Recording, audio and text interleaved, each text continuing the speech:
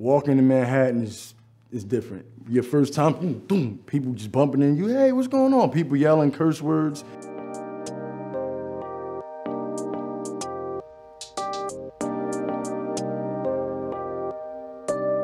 Get ready to come here to work.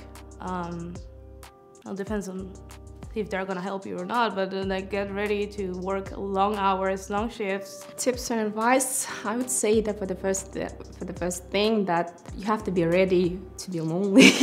even it's like it's even it's, it doesn't matter you moving you moving with my with your friend or just it doesn't matter it just like it's really hard to find kind of community friends and real we can just if you have maybe colleagues you have already friends it's it's good.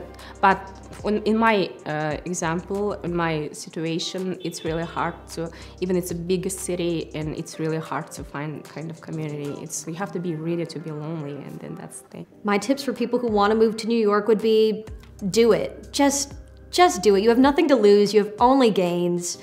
Um, i would also say carefully pick what neighborhood you want to live in. Gotta have tough skin, because walking in Manhattan is, is different. Your first time, boom, boom, people just bumping in you, hey, what's going on? People yelling curse words, and it's different. If you're not, if you don't have a mindset or if you're not tough in your skin, or it's, it's gonna be a rough, it's gonna be a rough going for you.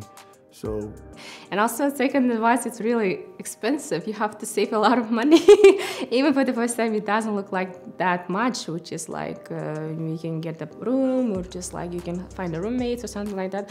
But still, the cost of living, even it's really simple groceries, simple food, and then all this expensive, it makes a lot of future. It's really, really expensive. Um, just do it. You know, like I've heard so many inspiring stories of like people moving here with $200 in one suitcase and crashing on a couch and they're still here. Like just just do it. Follow your heart. uh, tips to move to New York, I would say learn learn the neighborhood, learn the people around you, spend some time with them. Uh, from the diner, the corner shop, uh, the UPS driver, learn learn from them. They've been here, they, they know what's what. Um, and always be a student of, of be, of New York City. There's so much to offer in the city. There's so many neighborhoods with restaurants and just businesses that you should go to. Um, don't isolate yourself to one area. And then maybe another advice, which is maybe part of which part is better. It depends on your budget, of course. And then the, I would maybe give advice like best part was the Upper East Side, Upper West Side, which is really safe and clean, and you can find maybe a lot of maybe good places, apartments around there. And so I don't know, maybe that's it.